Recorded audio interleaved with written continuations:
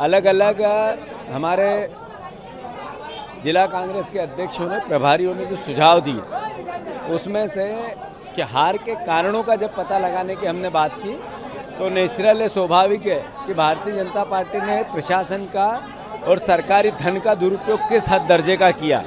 वो एक एक जिला अध्यक्ष ने विस्तृत बताया, रिपोर्ट दी। आने वाले लोकसभा चुनाव में किस तरीके से हम वापस जाएँ, इसको लेकर कई सुझाव पॉजिटिव और सकारात्मक आए। कार्यकर्ताओं में उत्साह है। हार के बाद भी आग है। ये एहसास भी जिला कांग्रेस के अध्यक्षों ने कराया।